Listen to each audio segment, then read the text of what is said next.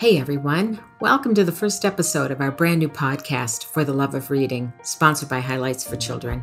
I'm Christine French Cully, your podcast host, and I am a lifelong reader, made on the laps of my parents, as the saying goes. And I'm delighted to be here, and I am delighted that you are here with me.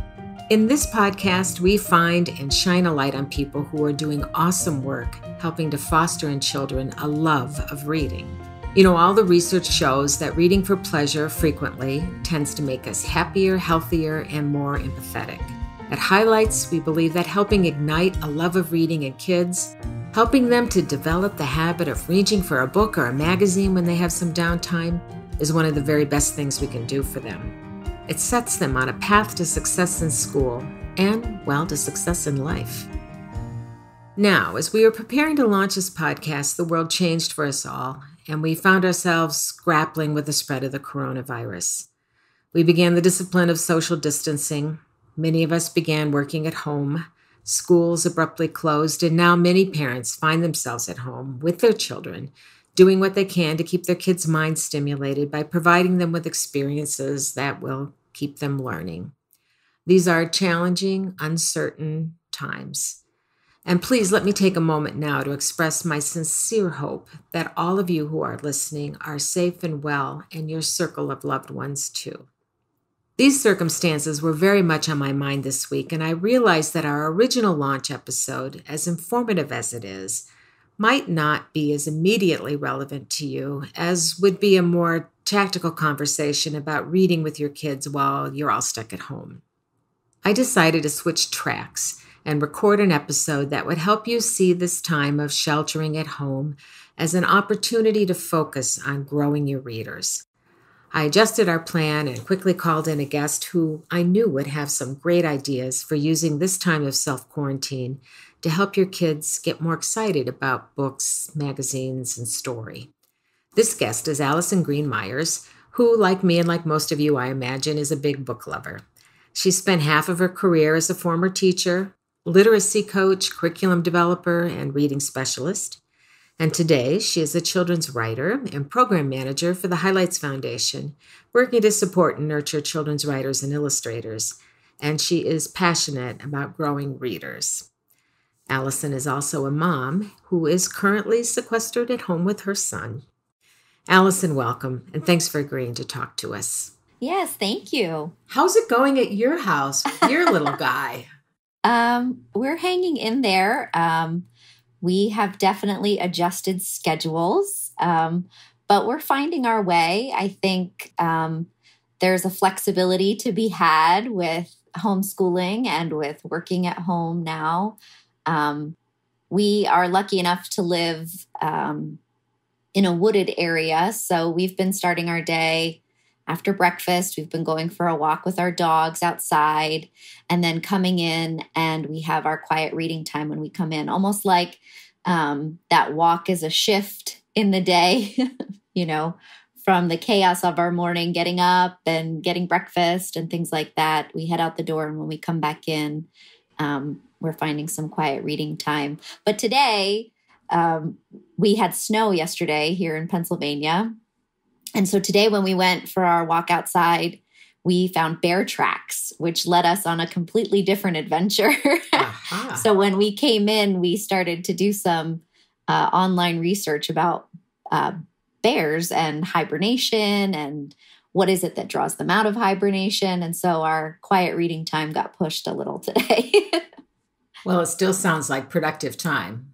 yeah. And a great thing to do with your kids that was a teachable moment. You had to seize That's right. it, right? Right, yeah. right. And you know, I did say, had we been rushing out the door to school, which we usually are after breakfast, we're rushing out the door to school, we would have driven over the bear tracks. They were right on our driveway and we wouldn't have noticed them. And just to stop and kind of seize that opportunity and to talk. My guy's a, a real nature lover. And so that was, um, it was nice to have that moment. Mm-hmm. I've talked to some other parents who've said that, um, you know, even though there are new stresses associated with this stay at home situation where we all find ourselves in, there are also some stresses that were part of their everyday routine that are gone. And one of them is getting kids ready for school. And then, sort of that last hour of the day when everybody comes home, and I used to call it the breakdown lane when I was, my kids were young, you know, everybody's hungry and you're trying to transition into a family time when you've all been at your separate places with th- those associated stresses. Those stresses might be minimized now. Right. Replaced with some others, but um, you make a good point. We have to, you know, appreciate what's different and roll with it right. There's a lot of roll with it. There's a lot of roll with it for sure. Yeah. And and there will continue to be a lot of roll with it. Yeah. but um, what can parents do? What are some ways that they can incorporate reading into the routine of their children now that they're staying at home uh, sheltered at home?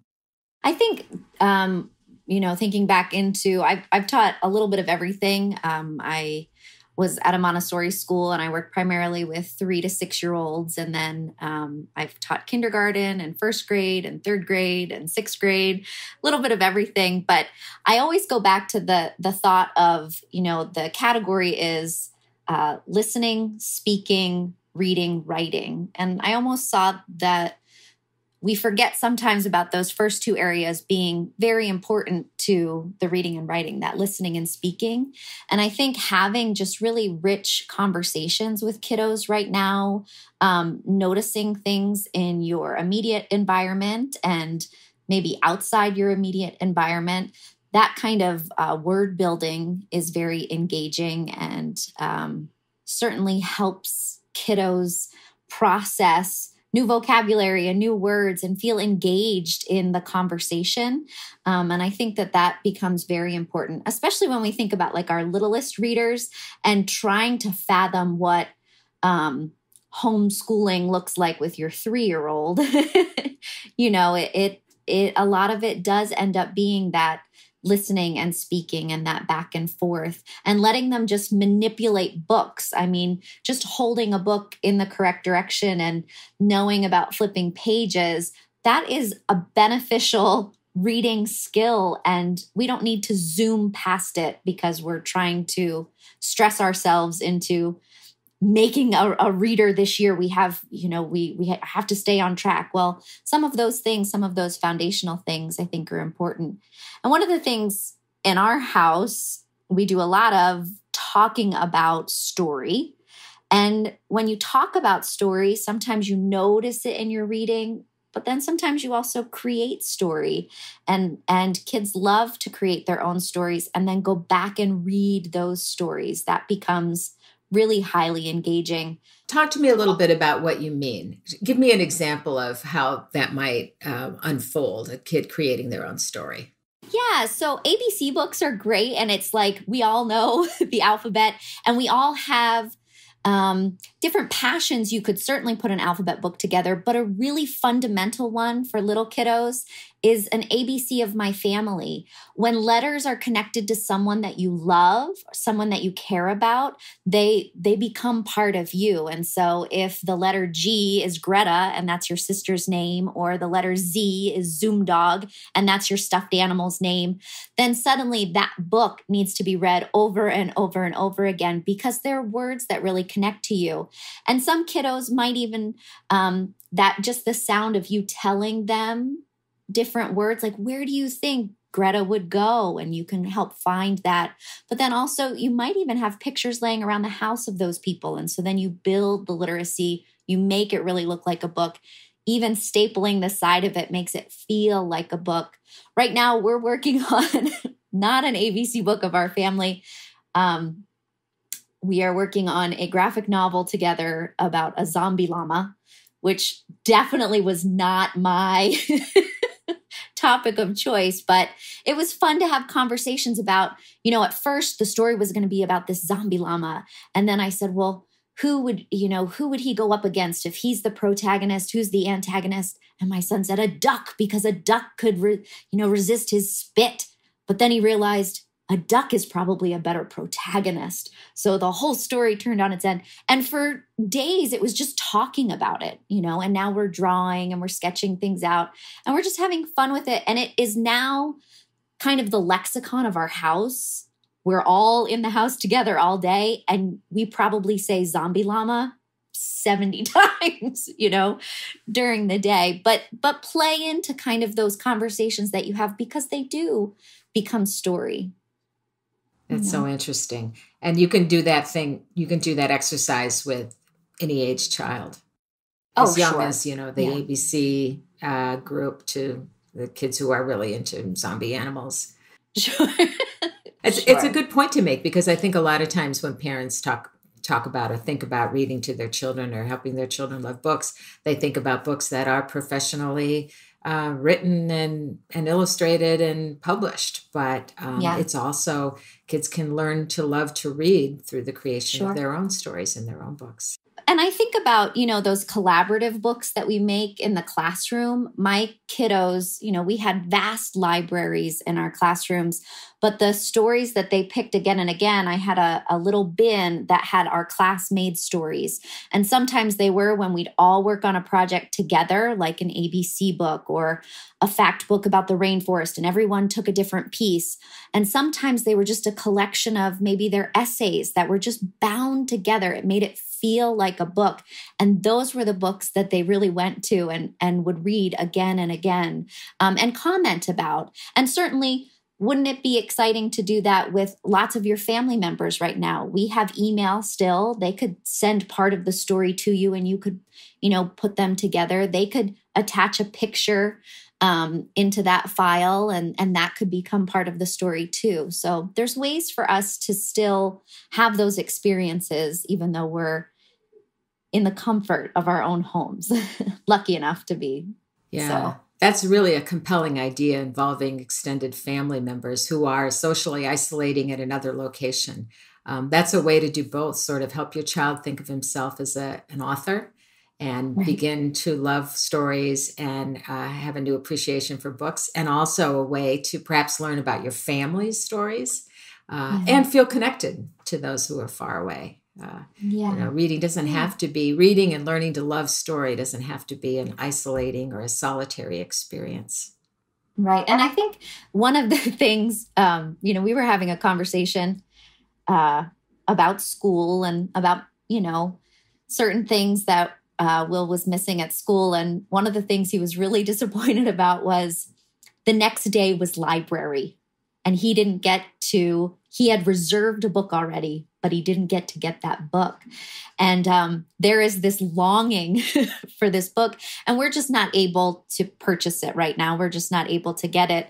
Um, but we've talked about all the books he's read. It's the Ranger in Time series, Kate Messner series, and we've talked about all the other books in the series now. And we've gone online to look at any of the previews about this book. So we're still trying to feed that flame of continuing the series, even though we don't really have access to it uh, right now. But I will tell you, Ranger in Time is helping us with our zombie llama because he really understands um, it's a very concrete structure to that story that he understands and and she's influenced that.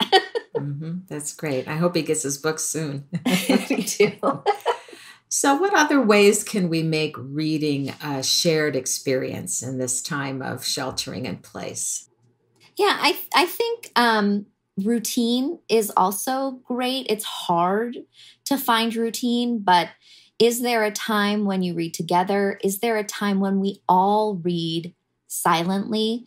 Even in um, our own books, it still feels like um, we're in it together when we're sitting next to each other with our own books. And then the discussion that we can have about story.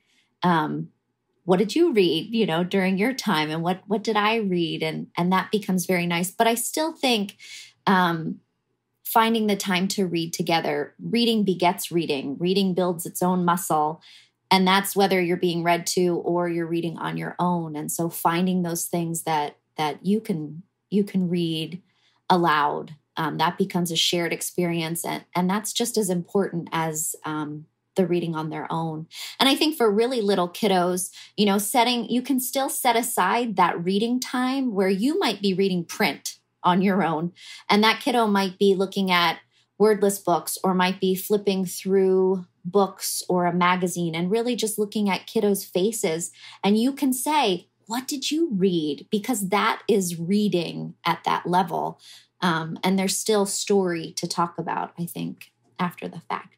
That's really interesting because I think a lot of times we don't think about kids who really aren't reading yet being able to have a silent reading time. But you've mm. just shown us that they can. We just have to yeah. broaden our definition of some of these things, broaden our yeah. definition of reading, even. Yeah. And I think, and in the Montessori classroom, that was one of our favorite ways to start the day when the kiddos would come in and they would kind of take care of getting their area set up and take care of themselves and their belongings. And then they would find a space in the room where they would like to read. Some of them would like to read to the goldfish.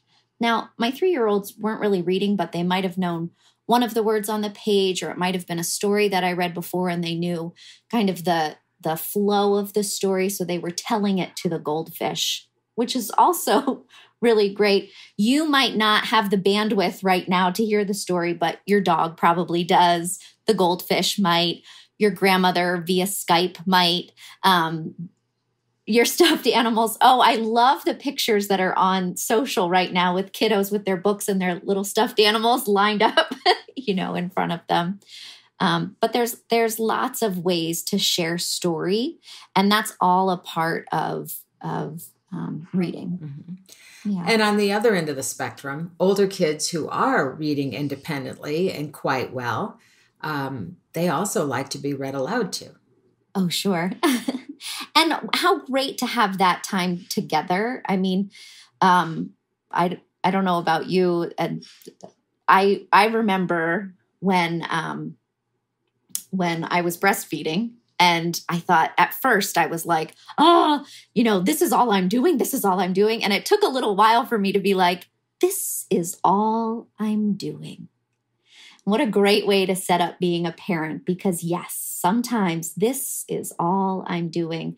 And the reading, you know, with your child, it's okay. Like, this is all I'm doing. All you're doing, you are creating a love of reading in your child. You are bonding, you are sharing a story together that becomes part of your dialogue going forward.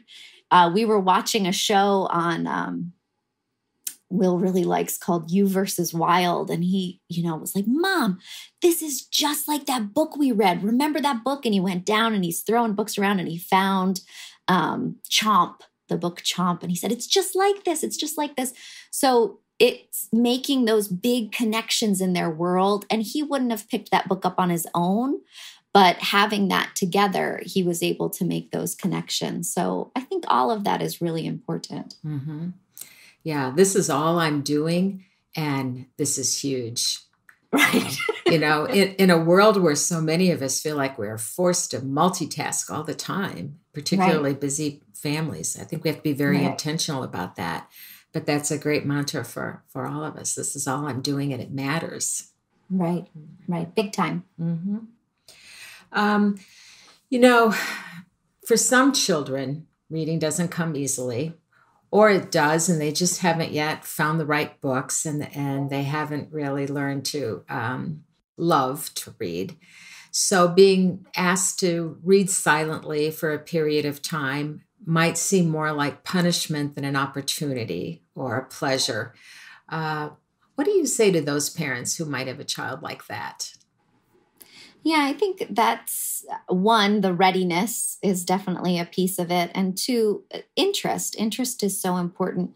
I think schools do a really nice job, and librarians certainly do a really nice job just having um, access to a wide variety of genres and really letting kids know that all reading is reading. Um, my son really could read, but he didn't want to read until um, he discovered Garfield comics, which there's a lot of censorship that needs to happen with Garfield comics. But, you know, once he had those, and he would ask questions, Garfield uses very enriching vocabulary, you know, but he was so motivated to read through them because he connected on a pretty deep level with Garfield. And that just spurred into everything. Then he was a reader and just very interested in reading. And so sometimes I think we discount the reading of magazines um, the reading of graphic novels, the reading of comics.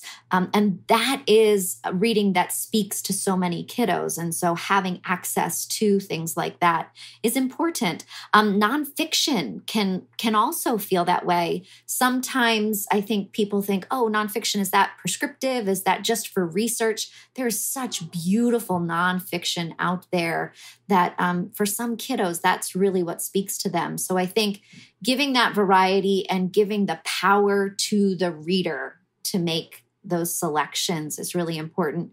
And then taking a step back if it doesn't feel like that sustained quiet reading works, then it is time to do that reading together and maybe have other literacy rich experiences. Walk around, you know, when you can get outside and walk around, read signs together, um, read your environment together, make letters with Play Doh, um, build.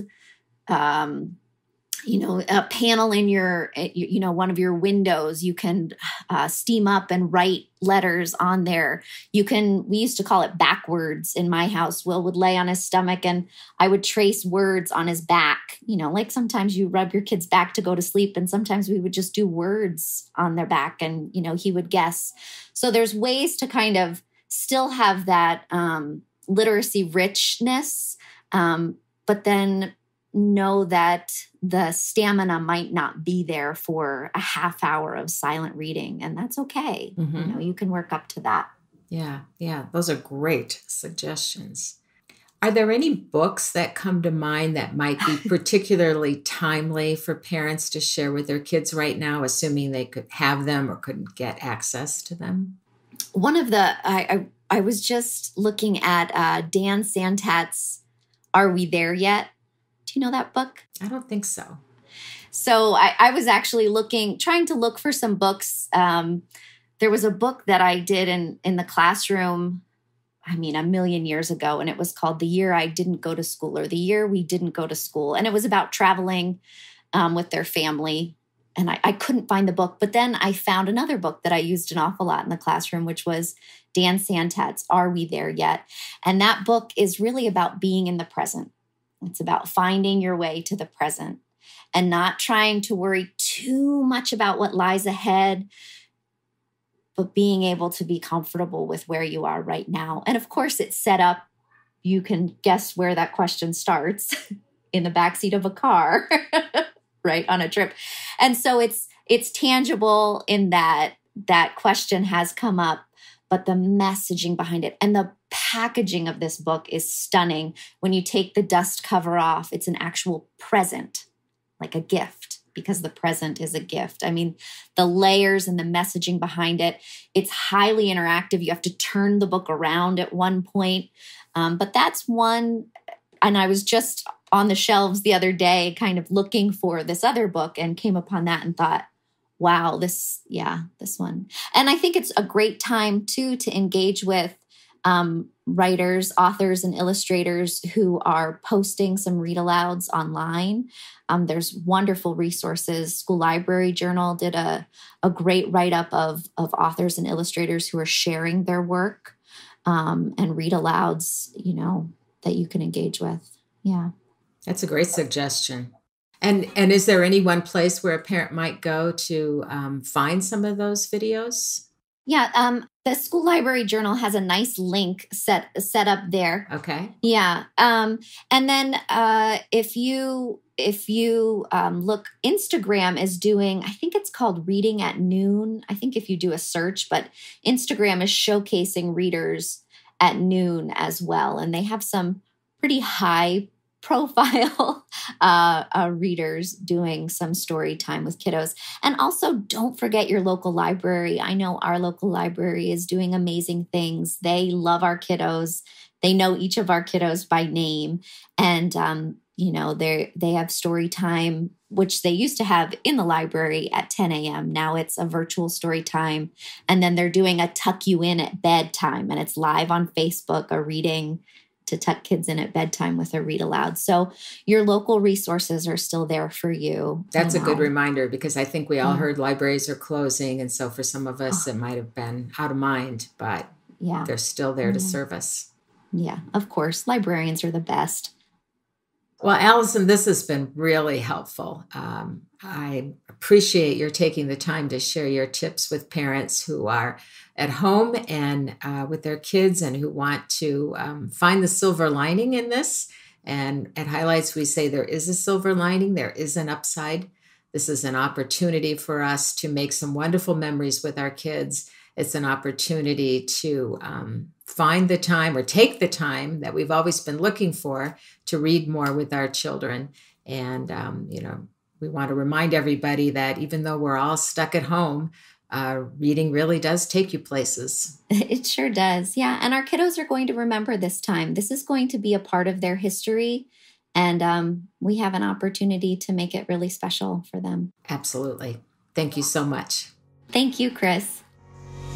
For show notes and information about other episodes in our podcast series, visit us at loveofreading.highlights.com. My name is William, and I'm eight years old. I love to read because you can learn anything from books.